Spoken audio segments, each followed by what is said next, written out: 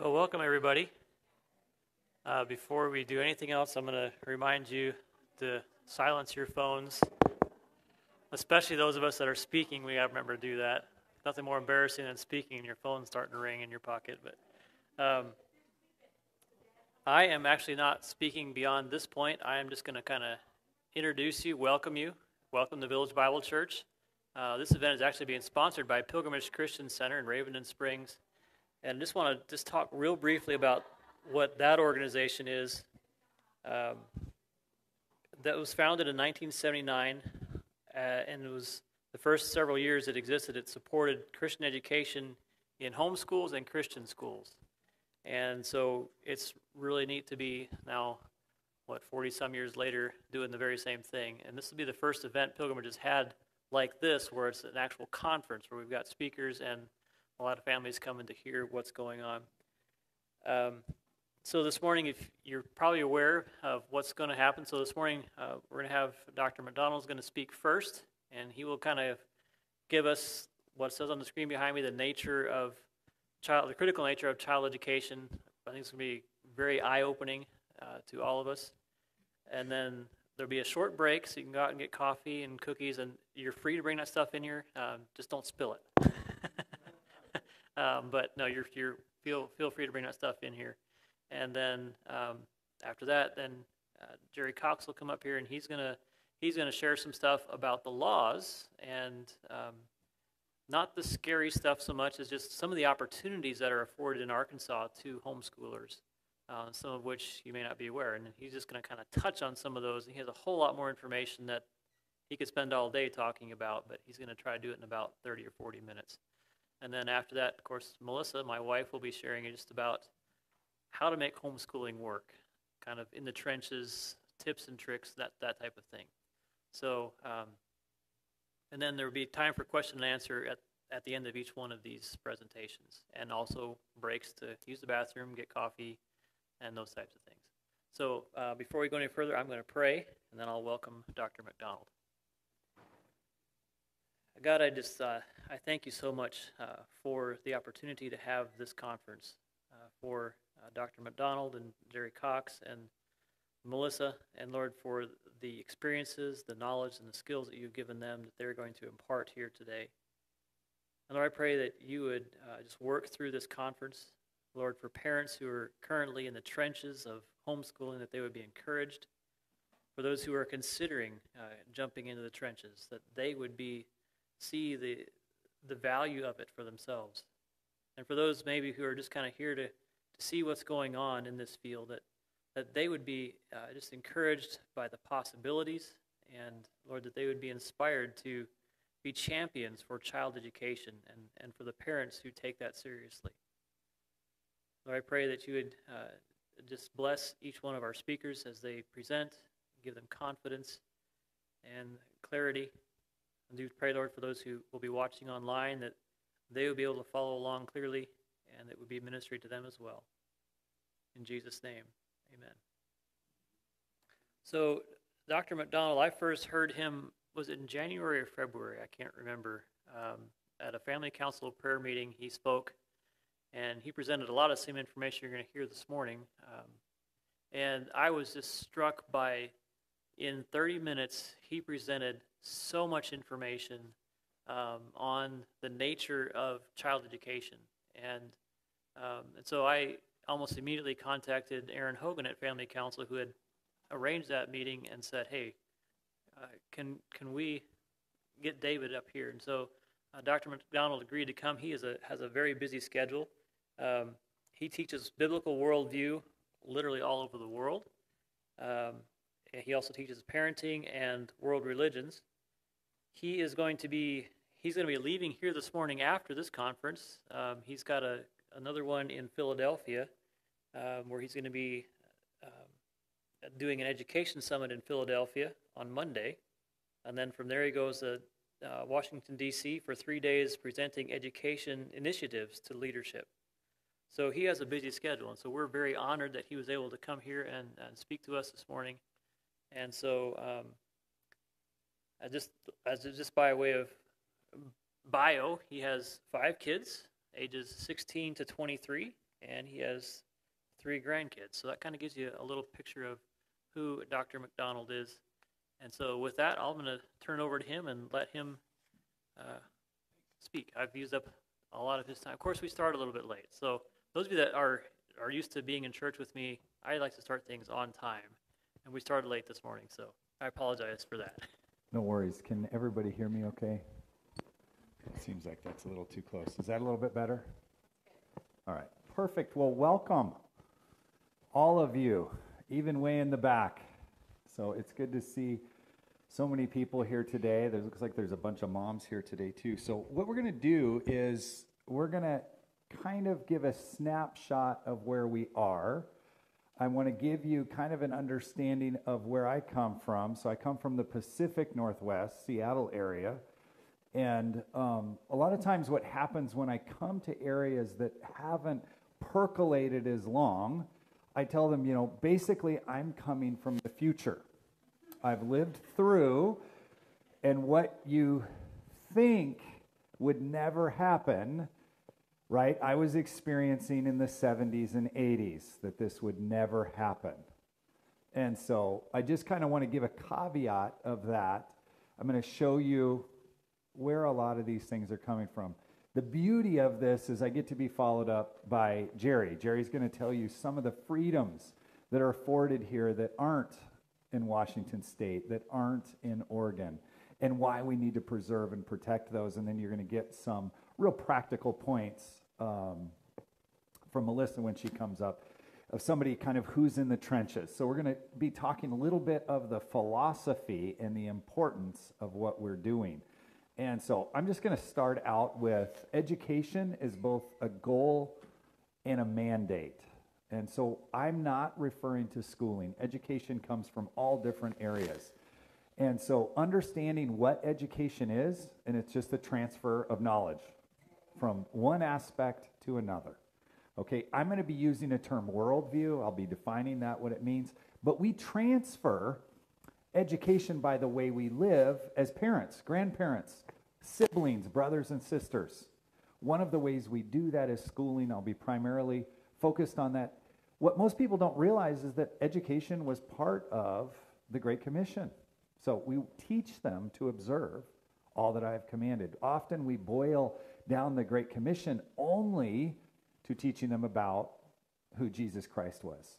But it's actually holistic, it goes for everything. So education shapes worldview. Education um, shapes how do we know the truth? Is truth based on feelings? We've abandoned right now empirical education that, you know, biology says this is what a man is, this is what a woman is. And now it's whatever we feel like. And so we call that epistemology. It's how we know who we are. Do we come from goo? Or is there a higher purpose to who we are? Purposelessness is endemic in younger generations. The suicide statistics sadly bear this out. What happened down in Uvalde, Texas, isn't as a result of a gun.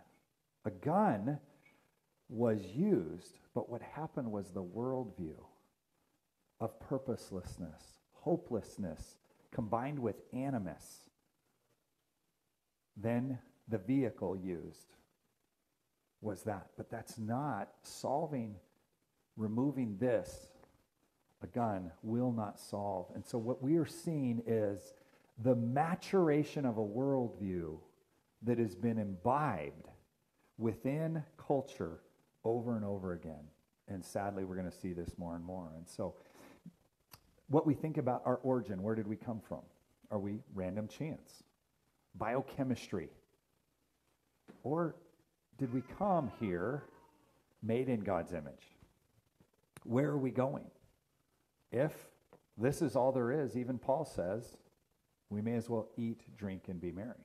But if there's something more than that, and so how we think about worldview drives everything. So ideas shape action, worldview shapes what you do. And what we're seeing now in the church too often in education too often and in politics too often is there's a stated worldview, but not a lived worldview. And so we're going to be focusing in what is it that, where is it that we're driving? Where is culture driving? Where is education driving? Where is politics driving? So I want to give just an, an understanding of what I mean by this. Ideas have actions. So if we look at the Christian worldview says we're made in the image of God. Materialism, Darwinian materialism, says we're made in the image of what? Random chance. So, Charles Darwin says this It is surprising how soon a want of care, care wrongly directed, leads to the degradation of a domestic race. But excepting in the case of man himself, hardly anyone is so ignorant as to allow his worst animals to breed. So we only have to go to his son to figure out what he meant by that. His son was a classic eugenicist. The aim of eugenics should be the production in future ages of the highest type attainable. It must be wrong to attempt to raise the black races by any process which would result in the lowering of the white stock. When was the last time your evolutionary biology professors taught you the worldview behind evolutionary biology? Was eugenics. See, ideas have consequences. Planned Parenthood was started by Margaret Sanger. Here's a copy of a letter she wrote to Dr. Clarence Gamble. This is 1939. We don't want word to go out that we want to exterminate the Negro population. Yet, is this celebrated? No. So, what we have is a stated worldview of compassion. We care about what? My body, my choice. We care about women's rights. But memorialized in writing, we see a far different thing. And so we fast forward. We're almost 80% of all Planned Parenthood today are in minority communities. So, ideas, worldview, consequence, right? Not stated worldview. So, there's deception and then there's truth. So, let's look at another one worldview. Brett Kavanaugh, believe all women. Well, some women. And now our latest Supreme Court is what? What is a woman? How do we know truth? She says, I'm not a biologist. If I walk outside today, it's sunny. Do I have to be a weatherman? Right? This is, this is the reality, though. Like, it's funny, but if I go to my alma mater where I got where I graduated from at University of Washington, this would not be the pervasive ideas and the pervasive understanding. It's influencing culture. If you look at the biggest bands, BTS, they set a record 113 million views.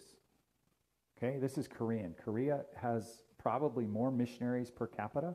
It's the most Christian nation. If you go back 30 years ago, this is what's happened to them. Number one band in the world. Gender fluid.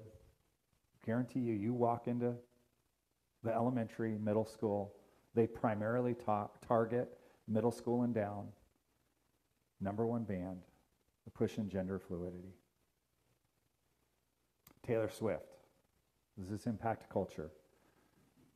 You know, Adam and Eve, not Adam and Steve. The mockery, open mockery of Christianity. Yet within the church, this is what is being listened to. And we have this cognitive dissonance between, wow, I'm so shocked X is happening to these kids. And at the same time, we're bringing in these worldviews.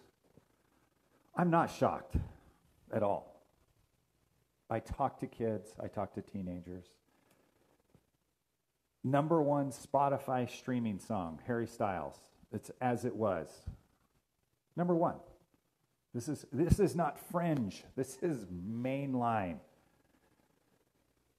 Harry Styles wearing a tutu number one album. I think you have to take me. I am who I am. Do you think that was a mistake when he said that? Does that remind you of anything else? Yet I guarantee you this if I go to any elementary school here and middle school. So, what about the church? Similar, twice last year, number one, LGBTQ.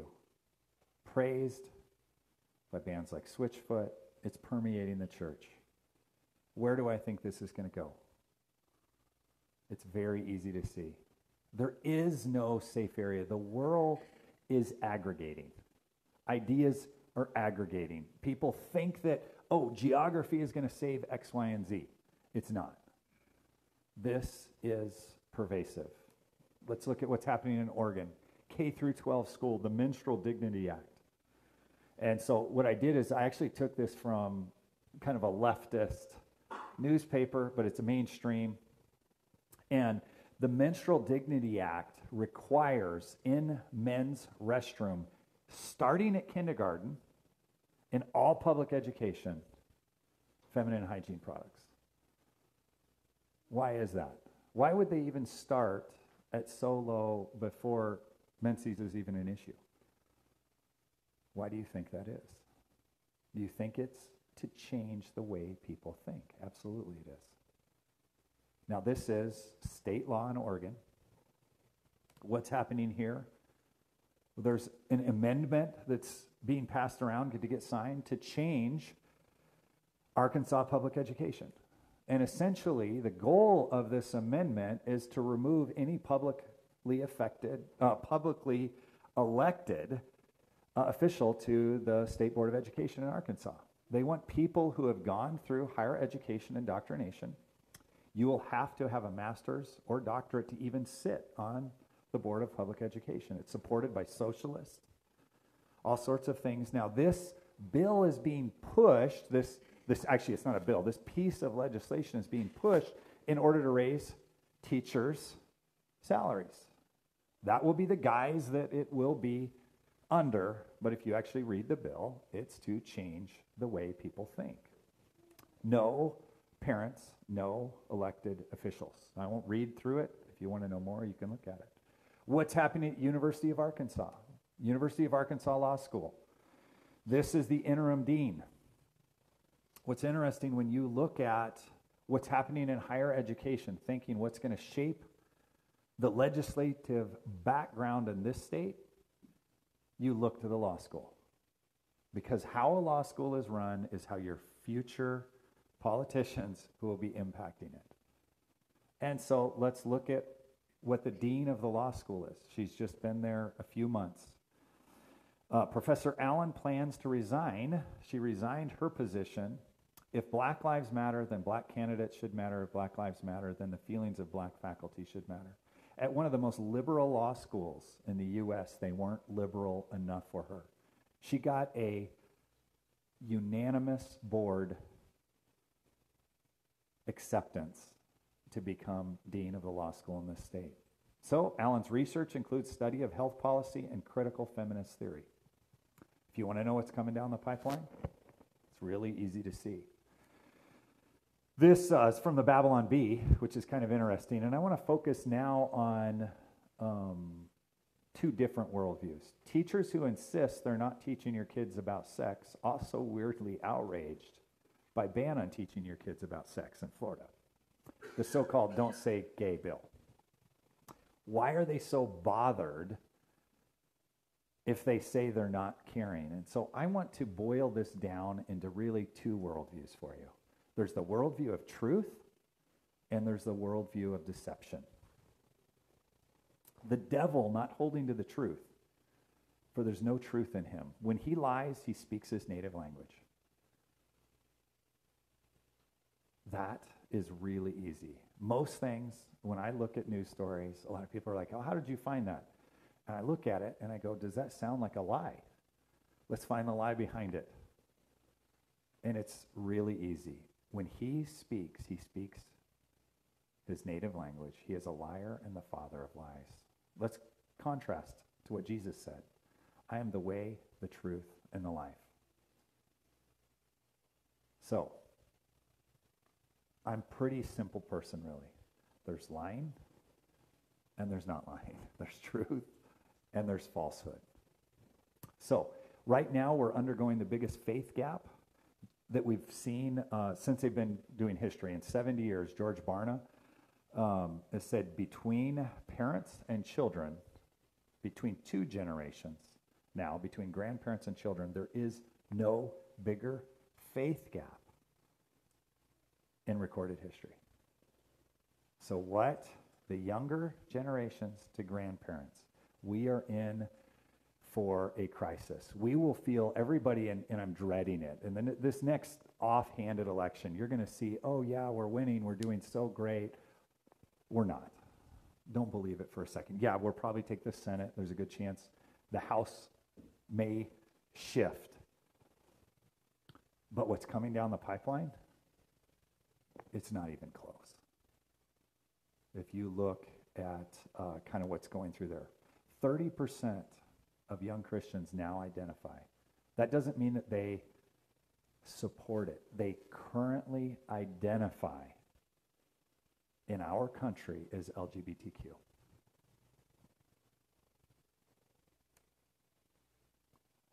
And my goal is to show you where a lot of this is coming from. Where has this happened? So, Barna, also part of this study. If you want to contact me, I can get you a copy of it. It's a, lo- a larger study, but the pith of it is no longer do kids trust the church, they don't trust pastors. Um, a lot of times, if you look in the past, the authority that pastors bestowed on the family, God's first government, the most important element in society. You look at Uvalde. Before I even knew anything, I knew there was no father. As I looked, absolutely that was the case. You have a drug addicted mother who says he's a good boy, an absent mother.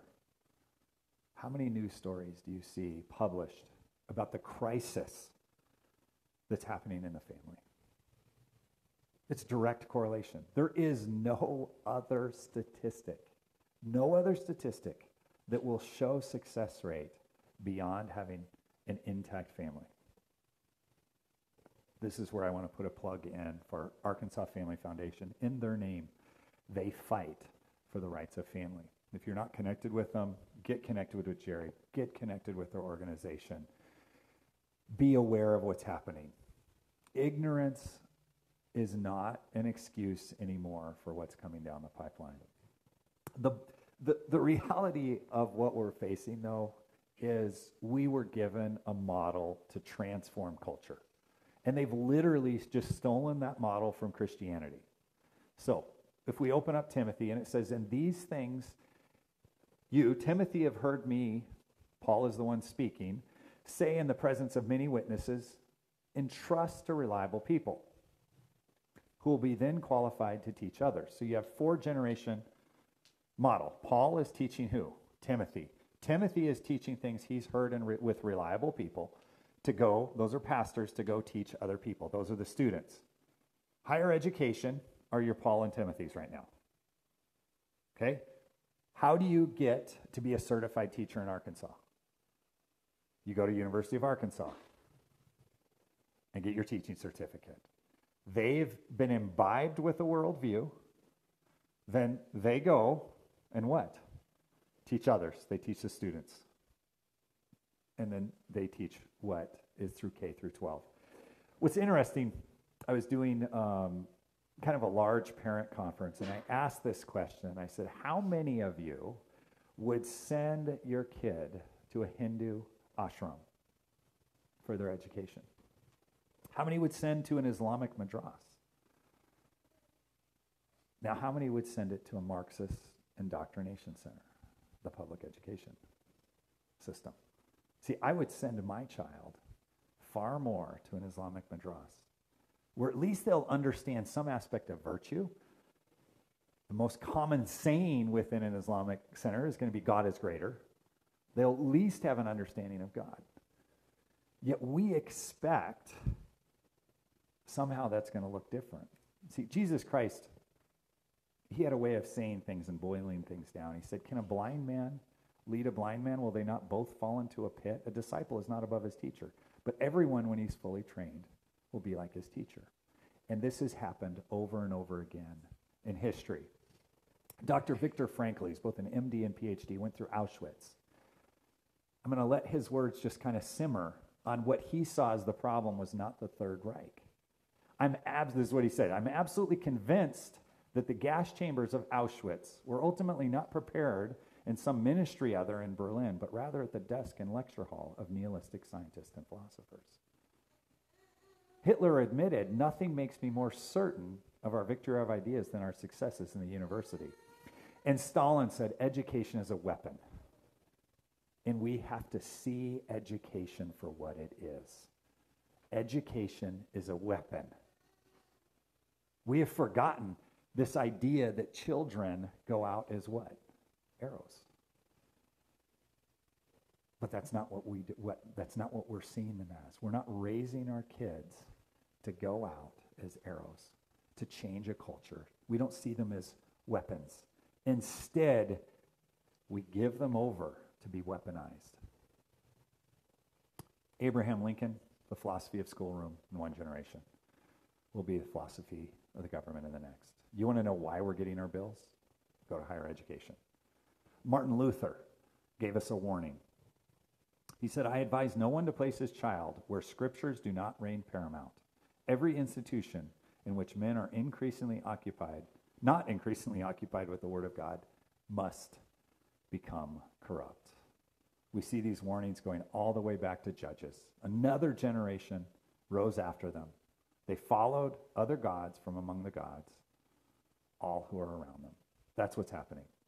Walk into an elementary school, local here, find out who their gods are. It's very obvious who they are. They're the same gods that I see when I speak in California, Philly, DC, Africa, Nigeria, anywhere. Almost universally, the world has shrunk and we worship the same gods. Hosea, the warning is so sharp. Says, My people are destroyed for a lack of knowledge. This is what's happening to America. We are being destroyed. But our lack of knowledge is an active rejection of knowledge. We can see that so clearly right now. What is a man? What is a woman? His older brother went with a gentleman named Joseph back, back home, I don't know, it's probably three years ago, to the Women's March. It's, it's a very vulgar march in D.C. It was, and they ask a simple question What is a woman? They flew back to D.C. the following week and they ask the pro life march, What is a woman? From this, that video went viral. Matt Walsh has now made, based on their video, this great thing. And then he goes around and, and asks the same question What is a woman? See, that's an active rejection of knowledge. And so what happens, I reject you from being a priest.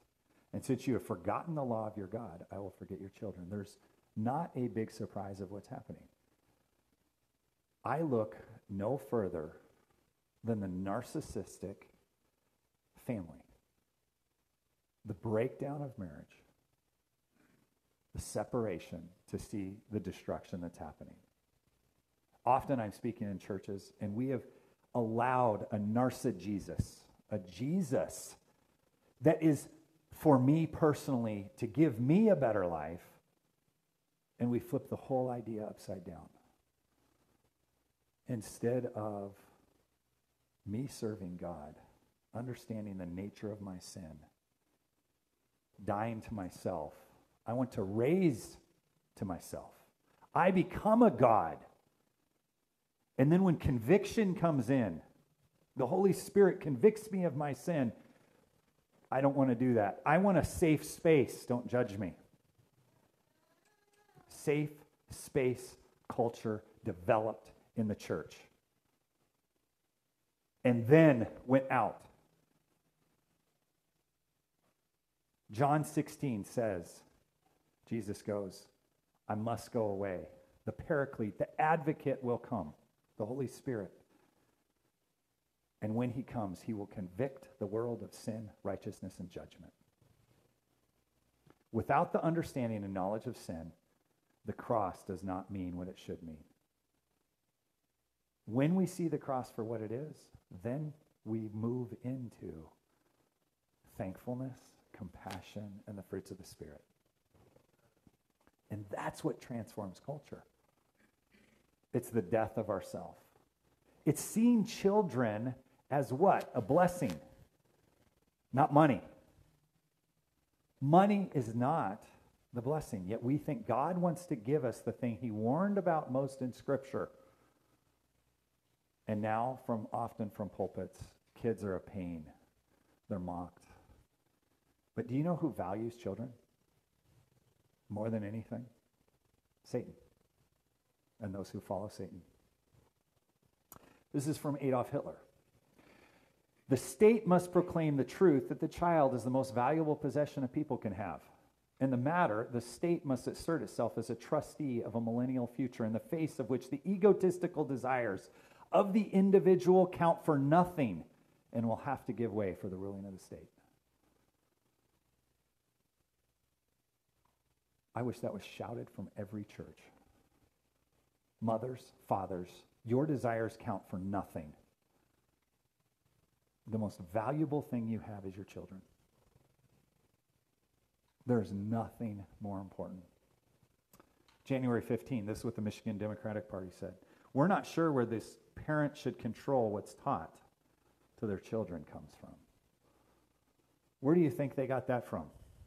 Marxist ideology trickled through the Third Reich, implanted into that. Biden, right? April 27th said, they're all our children. What does that sound like? Okay? They're not somebody else's children. They're like yours when they're in the classroom.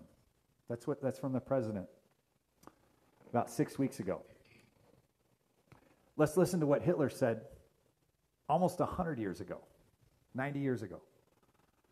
Whenever opponent declares, I will not come over to your side, I calmly say, Your child belongs to us already. What are you? You will pass on. Your descendants, however, now stand in a new camp. In a short time, they will know nothing else but this new community. See, the education, according to Marx, from the, uh, for all children, from the moment they can get along without a mother's care, shall be in state institution at state expense. Why is that? They want to separate the bond. That's why you, you see all of these programs. Let's get kids in. We have kindergarten, child garden. Then we have pre kindergarten. Now we have th- pre three kindergarten. Maybe we should keep kids till the time they're 10, 11, 12 with a mother who cares about virtue, character, and truth. We need to stand up against this. This is what they said. Now, I want you to listen really carefully to the language that they're using. This is Marxism. We want to sweep every way, everything that claims to be supernatural and superhuman. For that reason, we have once and all declared war on religion and religious ideas, and we care little whether we called atheist or anything else. This is 150 years ago. Do you know how many Christians care if they're called a bigot or intolerant? See, who really believes their worldview? This was really a job killing sentence in the 1840s. But they believe so strongly in this that they say, I don't care what I'm called. We need that culture that they adapted to lies for those who stand on the truth. For those who want to stand on the truth, we need to stop caring what they call us. Do you know Christian, right? Acts, Acts 16 was an insult.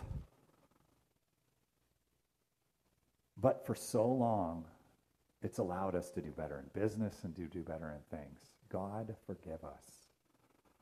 In our apathy, are wanting to be liked by those who hate God. Marxism, you take a guy like Alinsky. The end of Marxism is the third stage of a new social order. This is where we're at. This is he wrote in a book, Rules for Radicals. I throw this in there when I'm in Arkansas. A lot of times I don't put it in. But if the ideals of Alinsky espoused were actualized, Alinsky was one of the biggest proponents of Marxism in education. The result would be social revolution. As such, he's been feared. This was the master thesis of a politician that shaped the U.S. And that politician was Hillary Clinton. And here's the copy of where she said that in her master's thesis. It's uh, from page 74 of her college thesis. These things have been around a long time. We're talking over 40 years ago. This idea of shaping a new world order. If you want to see where they're going to go, Rules for Radicals spells out this is my little Second Amendment plug. And he says Gandhi, basically, if he could have, would have used guns, but they couldn't, so they didn't. Right? 50 years ago, the most effective means are whatever will achieve the desired results. This isn't conspiracy, this is memorialized in their documents of how you change social order. So, when you have the top police officer in the US, Merrick Garland, and parents are frustrated and upset what happens when they go to school boards. He said, We're going to have the FBI look into them. Now, I would love for every church to point out the simple hypocrisy. Merrick Garland's daughter and son in law run a company that guess what they sell? Critical race theory to school boards, make millions. I was thankful that Ted Cruz pointed that out. I actually wrote a paper on that for uh, Family Research Council that went viral, pointing out this really simple thing follow the money, follow the lie. Why in the world, with everything that's happening in the U.S., did Merrick Garland put law enforcement toward parents at school board meetings? I go, this doesn't make sense. And it takes about 10 minutes on Google and you realize, oh, okay, this does now make sense. This is what they're trying to do. So we name schools after our social reformers. Saul Alinsky School. 60 years ago, let's hear what the activists were saying. The judgment as to whether you can trust the future, the social advancement, depending on people, will be judged on where they come out on how they think about the gender issue, homosexuality. This is his schools that we name after him. Let's go back a little further. Let's see how far this goes back. John Dewey, the Human Manifesto. There is no God, there is no soul. Hence, there are no needs for the props of traditional re- religion. With dogma and creed excluded, immutable truth is dead and buried. There's no room for fixed natural laws or moral absolutes. He's the father of modern education. So let's see how many Dewey schools there are if you don't see where they're planting these things. Horace Mann, 20 years after our country was founded. What the church has been for the medieval man, the public school must become for the democratic and rational man. God would be replaced by the concept of public good. So, when did this start? At the beginning of it. Do we have any Horace Mann schools? Let that sink in. John Dunphy. Listen to how he's talking about this. I am convinced that the battle for humankind's future must be waged and won in the public school classroom by teachers that correctly perceive their role as proselytizers of a new faith. If you do not believe this, look at all of the young women on TikTok who are kindergarten, first grade, second grade, pushing gender ideology right now to this. They perceive their roles as a missionary why do they see themselves as a missionary from higher education? See, it's a religion of humanity that recognizes the spark of what theologians call divinity in every human being. How old is this idea? If I go back far enough in the Bible, I remember there was somebody who said, and you will be a God. This divinity in every person. We need to remember who we're fighting. The classroom must and will become an arena of conflict between the old and new, the rotting corpse of Christianity together with all its adjacent evils and misery. That was 50 years ago. They laid out. Paul Haubner, NEA, National Education Association. The schools cannot allow parents to influence the values, education their children receive. Our goals are incompatible with theirs. So why are we afraid to go? Your goals are incompatible with mine. To hell with your ideas. That's where they come from. They're diabolical. We need to call them what they are. How many arguments that raise themselves up against the knowledge of God should we destroy? Every argument that raises itself up. We need to go after that. They're coming for homeschool. Elizabeth Bartholet, this is Harvard Magazine, um, says the issue is do we think parents should have 24 7 essentially authoritarian control over their children from 0 to 18? I think that's dangerous. I think it's always dangerous to put powerful people in charge of the powerless and to give the powerful ones total authority. Why do you think Harvard Magazine is pushing this? Because they know the danger that happens with discipleship. Discipleship from a mother and father. We need an education revolution. So basically, what I work on is getting higher education down to the masses at a reduced rate. It's a project I've been working on. I'll just touch briefly on it. We're in, in uh, we have four MOUs signed with four Christian universities that have a biblical worldview that can do STEM degrees, science, math, if they want to be a doctor, pre-med, pre-law, all of these things. They have now agreed to match in-state tuition. What's crazy about this is 17, 18 year olds can start in this program. And by the time they're 20, they can have an undergraduate degree. We have a crisis of marriageless people in the church. It's, it's a problem. And one of the problems is, is they're taking so much debt on from education. They're delaying starting families. They're delaying buying houses. You want to stop socialism?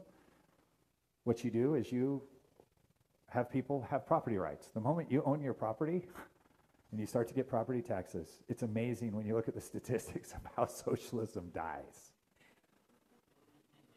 I have a video on here, I don't have time to show it, but it's from the World Economic Forum, and they say, You'll own nothing and you'll be happy. That's where they're driving this. It's kind of a viral video. There's a much bigger, expanded. I put together a book. Um, it's called The Third Education Revolution. A friend of mine, I had him uh, edit it. But if you want more information, um, you can reach out to me. It's David, my last name's McDonald, MCD116 at Gmail. Um, thanks for having me. If there's a few questions, I wanted to keep this a little bit shorter today, um, but just to kind of touch on, give you a little snapshot from the future of what's coming and the importance that there's really is nothing more important than discipleship. I'm going to give you one positive caveat to all of this that gets me really excited. The power of discipleship is breathtaking. If you go back to this model and you look and you say, one person, a Timothy, can make two Timothys, and then those Timothys can go make two Timothys, and so on. Now, the sad part is how bad we're doing it. But if we started with a mother in her lifetime made two disciples that could go make two more disciples, and we follow that down, right, to where each one doubles. In 40 generations, if you were to guess, how many people would that be? Let me tell you, it's over 550 billion. That's more people than have ever walked on the earth. We need to elevate discipleship. We need to not abdicate the spiritual role to someone who gets 40 hours if they're on average and say that's the pastor's job. They only get 40 hours. 1,100 hours are spent in education. I'm not even talking about music I'm not talking about television, internet, TikTok. I'm talking in public instruction. 16,000 hours on average K through 12. So there you go. Any questions? And then we're going to go to break. Well, thank you for your patience. Sure. In, in most, uh, communities in Arkansas, if you look at the public school, the educators in the public school, you'll look around and you say, well, our school board president goes to First Methodist, and our principal goes to First Baptist, and our teachers are at the Assembly of God Church, and our schools are pretty good. Um, we probably don't have near as much to worry about as they do down in Little Rock or over in Fayetteville or whatever. Can you speak to that just, just a little bit? Yes, yeah, I think it. So I'm going to go back in time. 1970, Washington State, Dixy Lee Ray was governor, Republican. Pro life. We would go out to areas, little community, Sequim, Washington. It's not a problem. Go forward one generation, 80% of the kids no longer walking with Christ if we go back 10 years, I would love to do a poll right here. I bet you 80% of the kids are no longer walking with Christ. See, what deception, the heart of deception is to go, it's not going to happen to me. It isn't going to happen. Go to a Razorbacks football game. Do you see debauchery from people who come from this area to go visit the Razorbacks? Do you see drunkenness? Or do you see the fruits of the Spirit? See, we've lowered the standard. But what causes the destruction is the abdication of responsibility. So if you walked in, in fact, it was really, I did this in Washington. I might have mentioned this down in Little Rock. And uh, there was a MOPS group. Um, do you guys have MOPS up in Northwest? It's Mothers of Preschool Children. It's a Christian group that churches do, and they're young moms who come together. And I said, How many of you have been to your local middle school and hung out with your kids for like a day? Okay, so take a 13 year old kid and now understand that 13 or even go to the high school, that 16 year old young man, is he more or less spiritually mature than your husband? Now, imagine you walk into your husband's office and his staff members are all dressed in the same manner that the middle school and high school people are that are around your kids. They're telling the same jokes. They're looking at the same pornography on their phones in high school. Are you going to be comfortable with that? Or are you going to go, What are you doing in this office? See, now, who's more spiritually mature? See, it really has to do with an abdication. And once that worldview sets in, this is what's going to happen.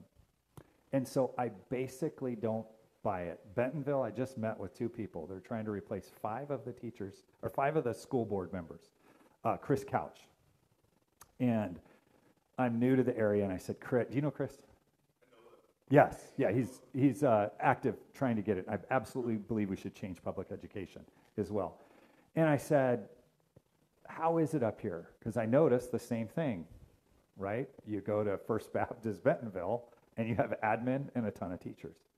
And he goes, It's disgusting what's in the library. Let me show you, let me tell you. He goes, It's a farce.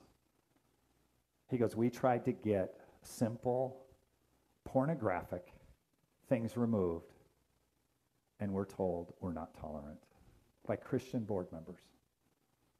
He goes, The average parent doesn't have a clue. He goes, We have some of the highest test scores in the nation. That's all they care about. We've abandoned character. We've abandoned a biblical worldview. So, my, my, my short answer is it doesn't exist. So, yeah. Any other questions before we get coffee, water? Sorry to be so encouraging. yes, please.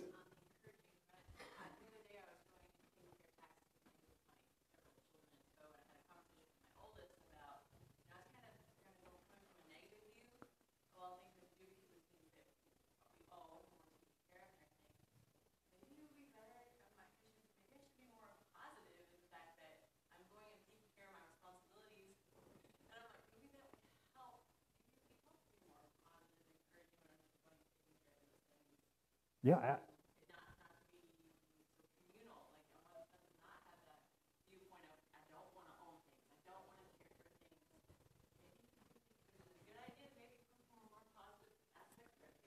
I, I- think the first thing we need to be positive about is their value, that they're made in the image of God, that there's nothing higher. I picked up this worldview from my mom, and I, I don't even think she understood it, but when I was a kid, she looked at me and like she really thought, you know, you're a child of God. You can do anything. So I grew up believing I could. But you know what makes me sad? And, and if my wife was here, she would bring this far stronger than me, is how many young mothers criticize their kids and their husbands. And is there any wonder what happens down the line with this critical spirit? But see, being, having a critical spirit is not a fruit of the spirit, it's the fruit of the devil. How many dads, the butt of their joke is their kids? Teenagers are a pain in the butt. No, teenagers are a gift from God. You go back in the Bible, there was no higher gift. And so, all of those things, I'm thankful for my house. I don't want the government to steal, et cetera, et cetera. So, yeah, thank you. That's a great point. Yes.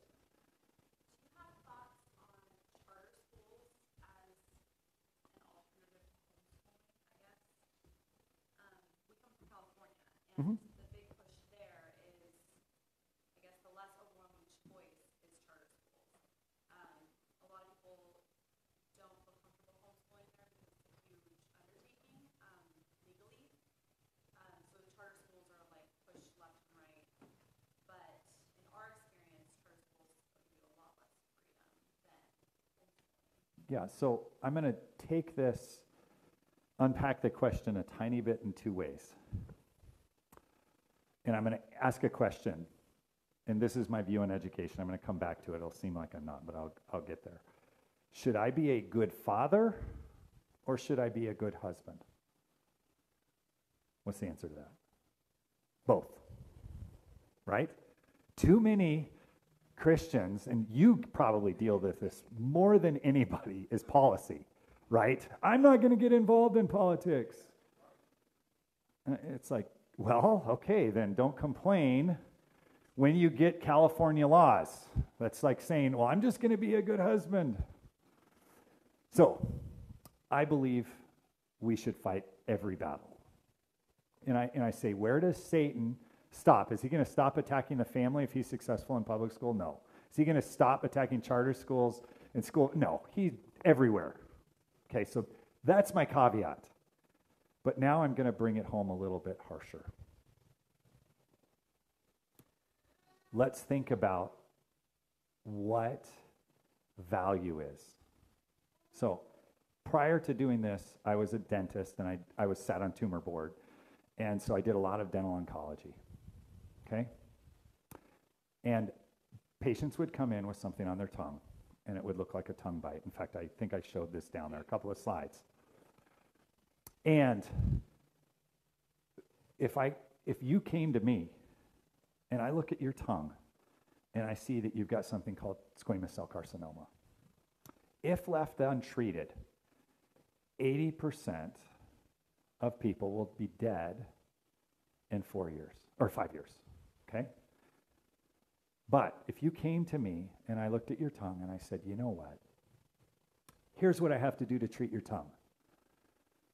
We're going to cut out over half your tongue. You'll probably never speak again. Then I'm going to put poison in your body. And that poison's probably 18 months. Your hair is all going to fall out. It's even going to change your skin. Your stomach's going to slough. You're going to wish you had IBS. It's, it's horrible. You're going to lose weight. You're going to be totally miserable. After that, if you're lucky, but probably not, because I, I kind of feel like it may be in your lymph nodes, we're going to burn you. We're going to focus radiation on your jaw so your saliva goes away. We're going to have to remove any dangerous tooth so you don't get something called osteoradionecrosis of your jawbone and have to remove your jaw. Are you excited to do that? No, because we've talked about the treatment and you don't understand the disease. But if I go to you and I say, these little cells, a lot of them are going to involve your nerve system. The last three years of your life, you're probably going to want to be on morphine. It's going to impact your bones, everything about it. You're going to probably be on so many drugs that you'll be in a delirium. You're not going to grow up and get to know your children. But I have a treatment for you.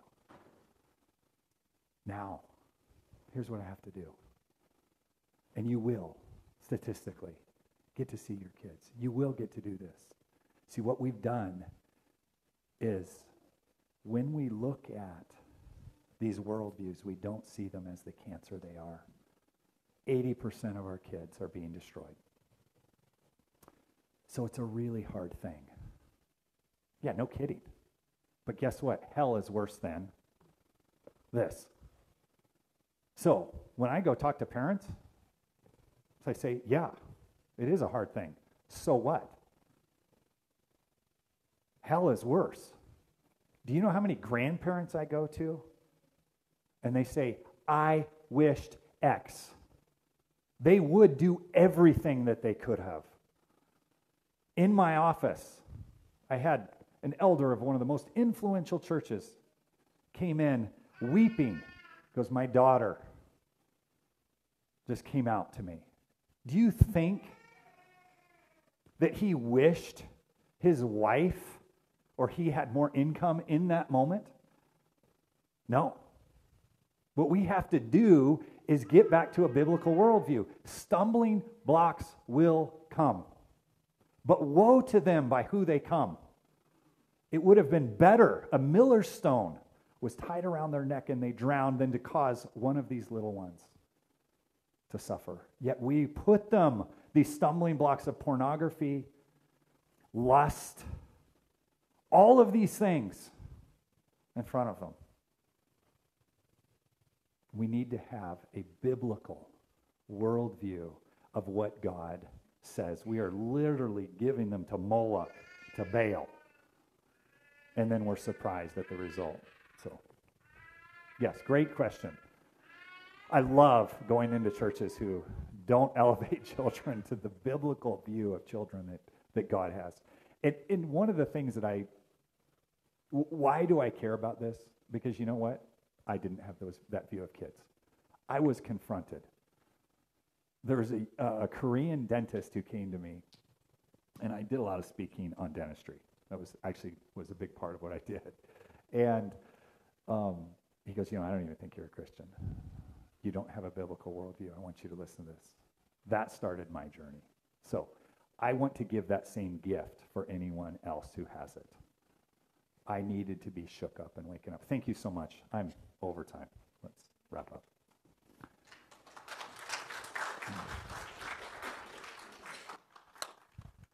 All right, so uh, thank you, Dr. McDonald. Um, it is now a little bit after 10 o'clock. That's my fault because I didn't start on time. Um, but we'll take about a five minute break.